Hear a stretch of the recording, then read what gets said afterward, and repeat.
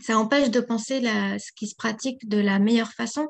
Sa place, c'est assez disqualifiant. Il y a ce caractère euh, euh, euh, directement illégal et marginal quand on utilise le, terme de mécanique de rue. Et ça nie en fait toute l'expertise de bah, justement clinique que peuvent avoir les mécaniciens de rue. Et voilà, donc ce serait déjà, si on pouvait en parler différemment, ça changerait déjà beaucoup aussi.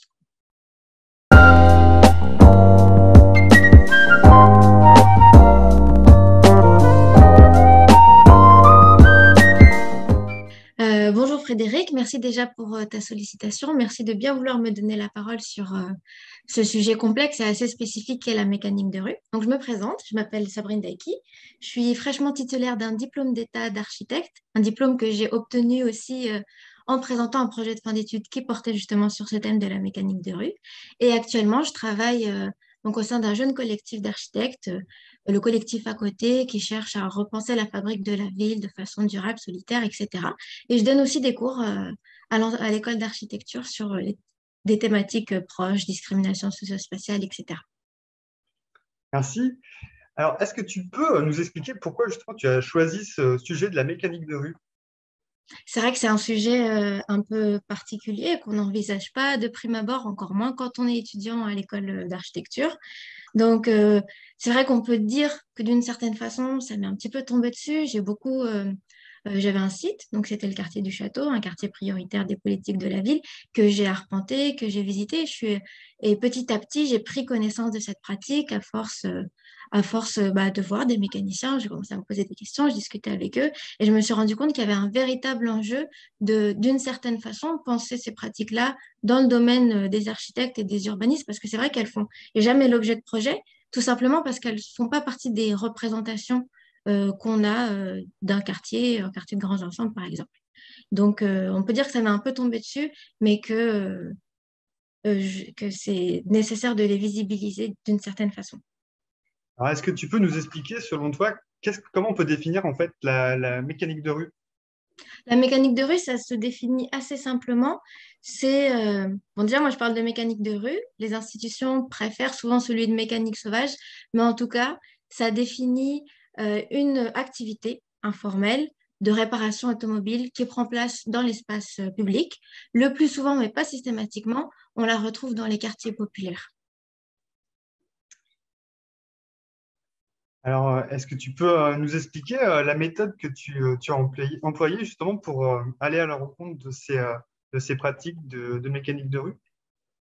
Alors, oui, j'ai commencé à en parler un petit peu rapidement. Il y a toute la méthode d'arpentage, le fait d'être présente sur le quartier, de discuter avec bah, les mécaniciens notamment, mais aussi euh, les acteurs de, la vie de quartier, les, euh, acteurs institutionnels, euh, avoir une polyphonie de regard et d'opinion, entrer vraiment en détail, même des fois, du coup, bah, essayer de comprendre vraiment leur pratique de mécanicien en discutant le plus possible. Il y a aussi d'autres méthodes qui sont plus de, de l'ordre de l'exploration de certains sujets. Par exemple, euh, euh, avant vraiment de déterminer et de me rendre compte que je voulais travailler sur la mécanique de rue, j'ai utilisé des supports de fiction comme la BD qui me permettaient de, de regarder le, paysage sous un jour nouveau, d'observer de, euh, les lieux pour avoir vraiment toutes les panels, tous les panels possibles pour appréhender un espace. Donc, on, remettra dans, le lien en fait, euh, de la vidéo en fait, le, document que tu as réalisé, parce que c'est plus facile de s'en rendre compte. Euh, oui, c'est pas évident. Parce que là, effectivement, c'est très graphique comme, comme rendu et c'est aussi ça qui lui donne sa singularité. Euh, donc, est-ce que tu peux nous expliquer peut-être ce que tu as observé? En fait, tu as eu tout un travail d'immersion sur le quartier. On voit avec l'arpentage, bah, tu as aussi eu un, regard, une observation qui n'est pas euh, contemplative du coup.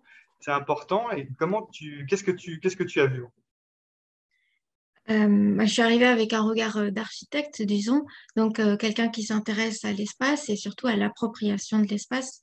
Donc d'abord, j'ai, j'ai noté bah, une appropriation bien particulière, un espace public, souvent le parking, qui devient un lieu de travail pour, euh, pour les habitants et dans le sens de véritable travail. C'est vrai que à force de discuter euh, avec les personnes, je me suis rendu compte que la mécanique de rue est un véritable travail de subsistance qui leur permet euh, de, bah, de subvenir à leurs besoins et aussi de, donner accès à la mobilité aux habitants des quartiers en pratiquant par exemple des prix qui sont bien moins importants que ce qu'on peut retrouver dans les garages c'est des pratiques qui sont un peu plus théorisées dans le domaine de l'architecture, qu'on peut nommer euh, bricoleuses, créatives, mais en tout cas qui permettent de vivre, là où, là où en fait, des fois, l'institution, comme on le conçoit aujourd'hui, ne fonctionne pas.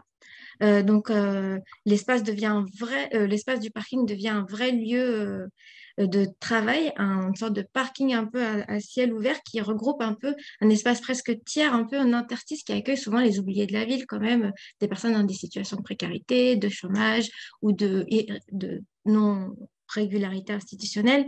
J'ai noté aussi surtout la multiplicité des profils et des raisons pour lesquelles on pouvait pratiquer la mécanique de rue, les différentes façons aussi de s'approprier l'espace, on ne va pas avoir exactement la même pratique, euh, toutes les petites, euh, pareil, c'est quand même assez graphique, j'essaie de le représenter graphiquement parce que c'est difficile de décrire, mais en tout cas, euh, alors là, j'ai perdu le fil de ce que je voulais dire. Ben, peut-être on peut rebondir sur une, question qui, porte plus sur les enseignements aussi de, ton travail. donc effectivement, tu l'as, souligné aussi sur la façon dont on appréhende, on appréhende euh, l'économie populaire, les pratiques informelles. Euh, c'est un vrai travail du coup. Euh, justement, qu'est-ce que tu, qu'est-ce qu'on, qu'est-ce que tu vois, qu'est-ce que tu peux nous dire par rapport à cette notion justement d'économie du travail ou de, travail de subsistance en termes aussi de compétences C'est vrai que quand on s'intéresse d'un, d'un peu plus près à ce travail et qu'on considère comme un véritable travail de subsistance, on se rend compte que c'est euh, une pratique euh, très particulière, très spécifique aussi, qu'ont les mécaniciens euh, qui pratiquent dans l'espace public. Souvent, on parle de mécanique clinique. En fait, c'est vrai qu'ils ont une expertise et travaillent un peu à la manière d'horloger. J'aime bien aussi cette, cette comparaison puisqu'ils ils, ils, ils vont avoir, par exemple, tendance à récupérer beaucoup de, de, de pièces à réparer plutôt que de remplacer. Ça, c'est des choses qui sont beaucoup plus en accord avec des nouvelles lois qui sortent, qui, proposent euh, aux, garagistes de réutiliser des pièces plutôt que d'en acheter des nouvelles. Eux le font déjà. Ils vont avoir tendance vraiment à, oui, voilà, travailler comme, euh, comme un horloger quand aujourd'hui, euh, avec euh, l'électronisation, etc., c'est des choses qu'on ne pratique plus ou alors parce que ça coûte trop cher. Un garagiste va plus avoir tendance à déclarer une voiture comme irréparable car trop cher par rapport à son coût et eux, ils vont plutôt faire l'effort de continuer à faire circuler ces voitures. Est-ce que tu peux nous, nous, donner aussi des informations par rapport à la perception aussi de l'environnement institutionnel par rapport à, ces pratiques. Je sais que tu as, rencontré pas mal euh, euh, d'acteurs, notamment de la collectivité, ou même aussi euh, peut-être police municipale. comment c'est C'est vrai que ça, c'est une, question très intéressante parce que je suis arrivée aussi avec parfois mes a priori. En fait, quand on discute avec les acteurs institutionnels, comme tu me dis, comme tu le dis très bien, euh, la municipalité, les policiers, en fait, on se rend compte que c'est vrai, ils condamnent la pratique pour son caractère illégal. Ils ont aussi euh, un regard parfois euh, assez stigmatisant sur la façon de faire. Le terme mécanique sauvage aussi n'aide pas dans l'appréhension qu'ils ont du sujet. Mais j'ai noté quand même mine de rien, une certaine, euh, une certaine compréhension, en tout cas, du caractère de subsistance du travail. Et les interventions, en général, elles se font vraiment quand il y a un cas assez caractérisé de trouble à l'ordre public, de beaucoup de plaintes. Sinon, il y a une forme de souplesse quand même qui est exercée. Ok. Alors euh, aussi dans, ton, dans tes travaux, tu as, tu as fait pas mal de croquis sur des situations que tu as observées. On note tout de même qu'il y a beaucoup de, d'usage sur la voie publique. C'est aussi pour ça qu'on parle de mécanique de rue. Mais parfois, des conflits euh, d'usage. Euh, J'étais assez frappé, par exemple, sur euh, la personne qui, faisait des tests sur le moteur alors qu'il se, trouvait très proche d'un parc où les enfants jouaient. Est-ce que ça, avec ton regard plutôt d'urbanisme, ça, ça, évoque aussi peut-être des pistes de réflexion sur l'aménagement des espaces et cette, euh, comment on, travaille cette dualité quoi, du coup c'est vrai que c'est important de, souligner les conflits d'usage, comme tu le dis, et les différentes nuisances qui peuvent être occasionnées par la mécanique de rue. tu donnais l'exemple de, de, de, de, de, la pratique de la mécanique très proche, euh, qui se fait souvent très proche des parcs, c'est une réalité parce que c'est le lieu qui est le plus entouré aussi de places de parking. Donc, c'est des choses euh, qui existent euh, et, et, donc qui altèrent aussi le cadre de vie des habitants. On ne peut pas le nier par les salissures, par les, par les déchets, par les, les, gaz d'échappement, etc.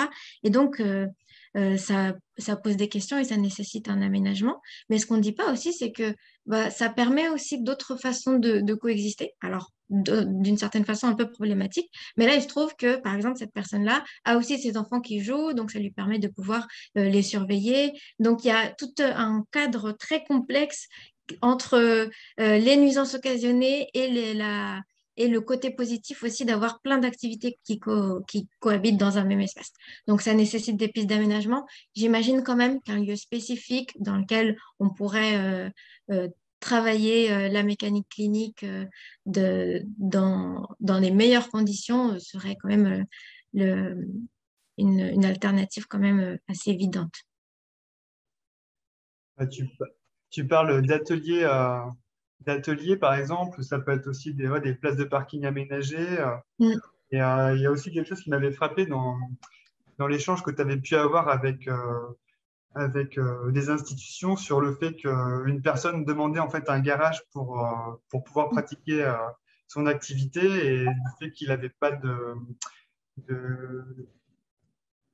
légalement, il n'était pas, il pas reconnu, on, il ne pouvait pas du coup en bénéficier, alors qu'il y a derrière, il y avait une volonté aussi de, d'avoir un espace qui soit euh, plus adapté aussi à la pratique. Et c'est assez, euh, assez intéressant de, de, soulever en fait aussi cette, euh, cette difficulté de dialogue parce que chacun est sur ses positions et du coup, on n'arrive pas à trouver un, un, entre-deux qui, qui, puisse un peu accompagner. C'est vrai que ça, c'est très intéressant, le fait que, pour le coup, euh, il y a une confrontation des idées, une personne qui envisage sa pratique comme euh, une pratique euh, légitime et qui a besoin d'un espace et qui se fait face à une institution qui ne comprend pas, qui, qui, reste dans le, le, regard, en fait, de la législation et qui ne veut pas aller plus loin en essayant de réinventer des façons de faire pour donner place quand même sans institutionnaliser, légaliser forcément aussi. Parce que c'est vrai que, ça existe aussi sous cette forme-là, et si ça le permet de survivre, c'est parce que c'est pas dans un cadre euh, classique. Merci euh, Sabrine. Peut-être une dernière question. Euh, je te l'avais indiqué dans l'introduction, c'est aussi un travail qu'on fait parce qu'il y a des, institutions qui s'intéressent au, sujet. on travaille, nous, on a un réseau de collectivités qui se pose également la question de ces pratiques si euh, tu avais euh, modestement un conseil à, leur donner, quel pourrait être, euh, qu'est-ce que ça pourrait être par exemple pour toi? J'en ai deux, trois qui me viennent en tête. bon, déjà, c'est un peu la suite de ce que j'étais en, train de dire. Euh, que c'est une pratique qui existe aussi parce qu'elle n'est pas soumise au, travail salarié, etc. Elle existe, bah, disons-le clairement, dans son caractère informel parce que les restes à vivre sont plus importants que quand on est dans une situation. Et donc, peut-être pas être dans la volonté de, forcément euh, régulariser, d'entrer dans un cadre légal parce qu'il serait certainement plus aussi bénéfique euh, aux personnes qui la pratiquent, mais penser des alternatives.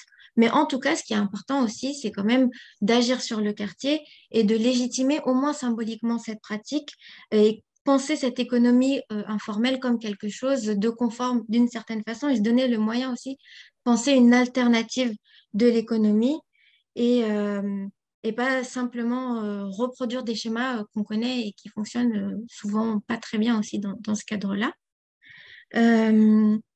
Donc, euh, les autres, euh, donc les interventions, elles peuvent être aussi plutôt de l'ordre de ponctuel, comme on parlait tout à l'heure, euh, plus ponctuel, on parlait tout à l'heure, par exemple, d'intervention directement sur des places de parking, des choses qui, qui permettraient de, de limiter les nuisances à l'environnement. Je proposais par exemple une station vidange, juste un espace dans lequel on pourrait réaliser sa vidange sans, sans que ça, ça finisse dans, dans, les eaux usées et donc qui sont difficiles à traiter.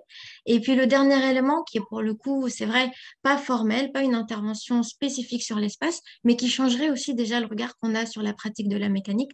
Et c'est un, un débat déjà qui a lieu dans le domaine de la recherche, mais simplement qualifier la mécanique clinique de façon différente de, et, pas, et arrêter de parler de mécanique sauvage en fait. C'est vrai que euh, ça, ça permet aussi de, ça empêche de penser la, ce qui se pratique de la meilleure façon. Sa place, c'est assez disqualifiant. Il y a ce caractère euh, euh, euh, directement illégal et marginal quand on utilise le, terme de mécanique de rue. Et ça nie en fait toute l'expertise de bah, justement clinique que peuvent avoir les mécaniciens de rue. Et voilà, donc ce serait déjà, si on pouvait en parler différemment, ça changerait déjà beaucoup aussi. On arrive à la fin de ces 15 minutes en aparté. Euh, ce que je vous propose, c'est de mettre fin, en tout cas, à, cette, à, cette, à ces 15 minutes. Et puis, je remettrai en fait en lien en fait les travaux de Sabrine et on l'alimentera avec d'autres ressources au fur et à mesure. Euh, merci beaucoup. Puis, euh, je te dis à très bientôt pour le coup. Merci pour l'invitation. À très bientôt. Merci. À bientôt.